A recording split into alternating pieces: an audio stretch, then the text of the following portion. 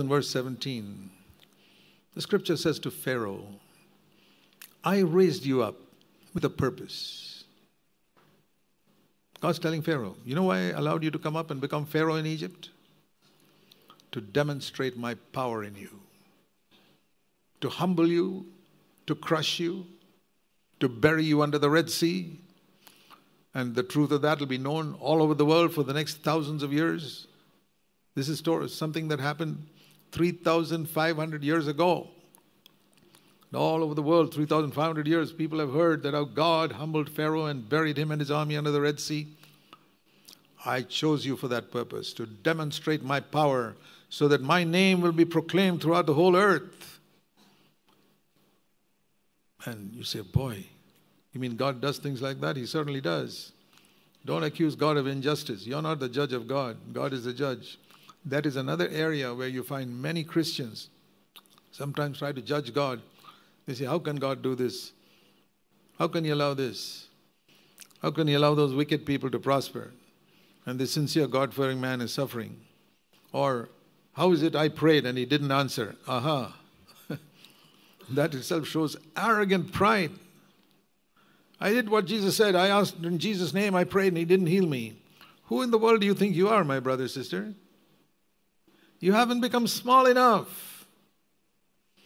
You see, I prayed in faith. Well, you'd really have real faith if you had small enough. What you have is not faith. You're too big in your mind to have faith. You think you're a somebody. Well, so it says in verse 18 So God has mercy on whomever he desires, and he hardens whomever he desires. Can you accept that? I can. It's the other parallel line. They meet at infinity. They don't meet in my finite mind. They will never meet in my finite mind. I'll never be able to explain it all my life. I wonder if I'll be able to explain it even in eternity. Because I'm not going to be infinite in eternity. I'll be like Jesus, but I will not be infinite. No. So I don't need to explain it. I know it is true. There are many things, even in the earth, I can't explain, but I know it's true. You know, when I've studied a little bit about the wonders of the working of the human body, the heart, the blood vessels, and the different nerves, and so many things inside the body as I've read and studied a little bit about it, I'm amazed that I have lived up to this age. I say, I say, I should have probably died at one week. that all these things are functioning so perfectly, and we eat so many things that are not good for us. We get hurt in so many ways, and still we are alive today.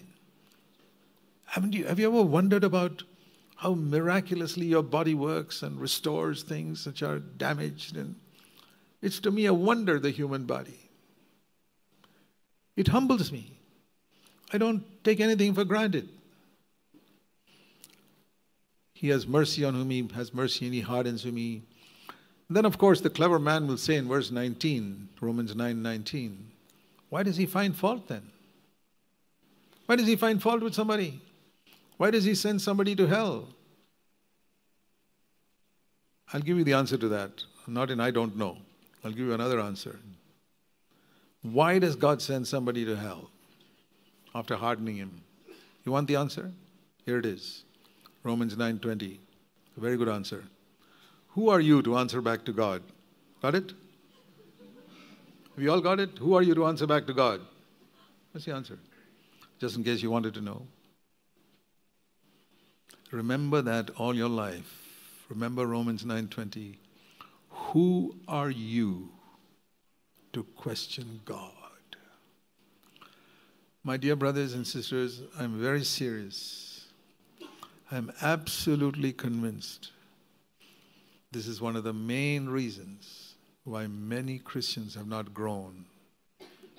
Their study of the Bible is to question God, to try and explain all of God when God is a mystery.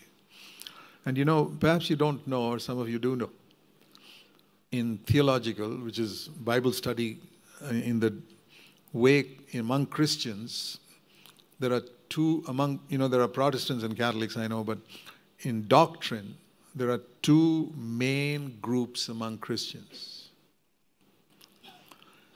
One, those, they call themselves Calvinists, who the sovereignty of God is the main thing.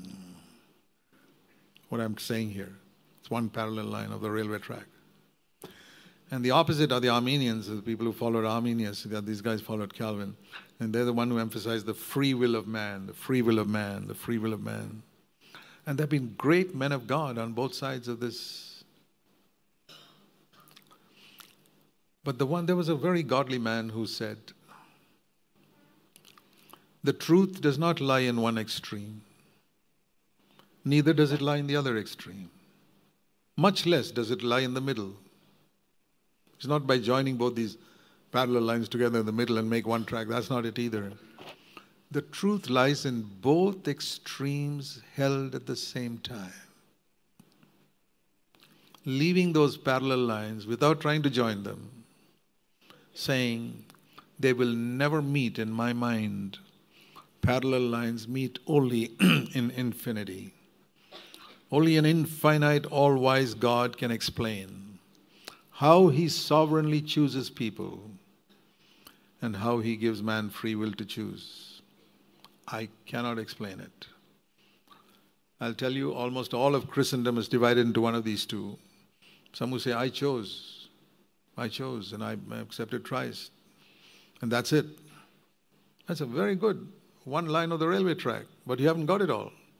And if you don't have the other, your train will not run the way it should.